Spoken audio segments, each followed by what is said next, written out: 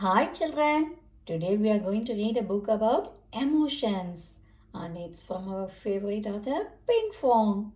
Baby Shark feels happy. It has a mirror at the end. Shall we read?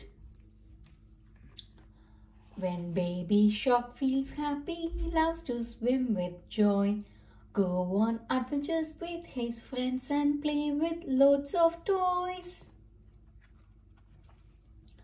When baby shark feels proud, he loves to show what he can do. Like magic tricks, making art, and surfing big waves too.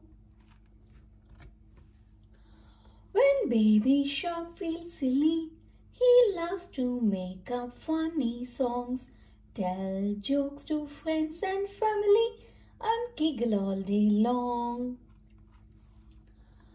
When baby shark feels sad, he loves to stop and rest, take a break to calm down, then later feel his best.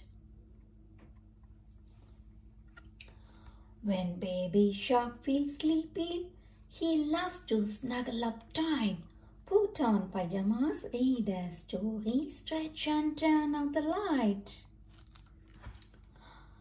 You can be happy, you can be sad, you can be proud or silly too. Your feelings are yours. And yours alone. However you feel, baby shark loves you.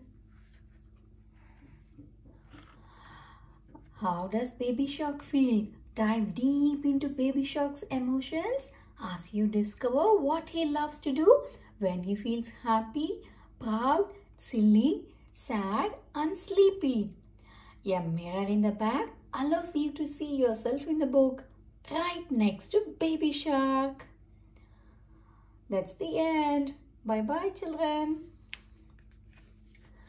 Baby shark feels happy.